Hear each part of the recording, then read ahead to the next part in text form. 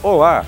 Nesta edição do Unicentro TV, apresentaremos uma matéria sobre o programa Unibral, que envolve universidades do Brasil e da Alemanha. A parceria conta com professores e acadêmicos do setor de ciências florestais do campus de Irati, que recebem os alunos alemães. No campus de Irati é desenvolvido o projeto de manejo para pequenas propriedades rurais, que insere os estudantes alemães na realidade local.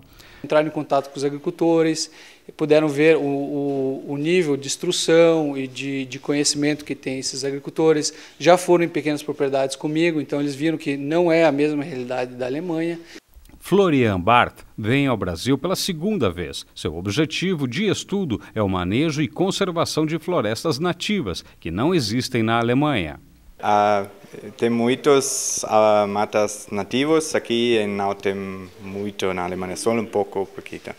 Mas esta uh, plantação é muito mais rápido e curto aqui. Tem seis anos, sete anos, mas na Alemanha tem 80 anos, 100 anos, é muito diferente. Amanda Fromers, além de estudar ciências florestais, busca também conhecer um pouco mais da cultura brasileira. Como são as florestas, as florestas nativas, uh, sobretudo, Uh, também as pessoas aqui, a cultura. Já Sebastian Breyer estuda o mercado internacional da madeira. Welche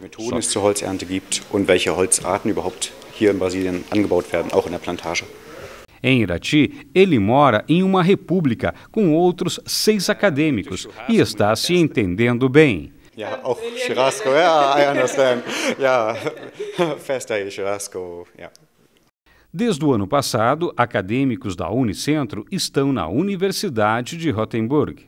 Nós mandamos quatro estudantes é, da, da, do, do, curso de Engenharia Florestal da Unicentro para lá. Eles foram para lá em agosto, setembro, desculpe, e, vai, e ficarão lá até por um ano, nove, onze meses na verdade. Né? É, e ainda neste ano, nós, nessa primeira fase, queremos mandar mais quatro alunos, é, também em setembro, para ficar mais onze meses. A Unicentro no Brasil e Rothenburg na Alemanha, duas universidades que participam do programa Unibral de intercâmbio subsidiado pela DAD, o Serviço Alemão de Intercâmbio Acadêmico, e pela CAPES, a Coordenação de Aperfeiçoamento de Pessoal de Nível Superior. Esse programa Unibral, ele é, é um programa muito importante para nós da Unicentro, porque é, é, na verdade, o primeiro intercâmbio oficial, né, com todas as despesas pagas. Né, a CAPES cobre todas as despesas dos brasileiros e o DAD todas as despesas dos alemães.